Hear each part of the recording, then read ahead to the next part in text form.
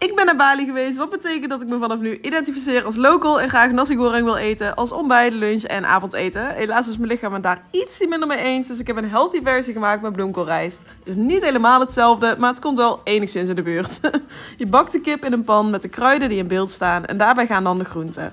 Ik gebruik een soepgroente, want blijkbaar is dat echt de perfecte combinatie voor deze bloemkoolnasi. Daarbij gooi je dan de ketchup manis en wat sojasaus, breng het lekker op smaak. Ondertussen bak je nog een spiegeleitje en probeer dan die dooier een beetje heel te houden. Ik weet ook niet zo goed wat hier gebeurde.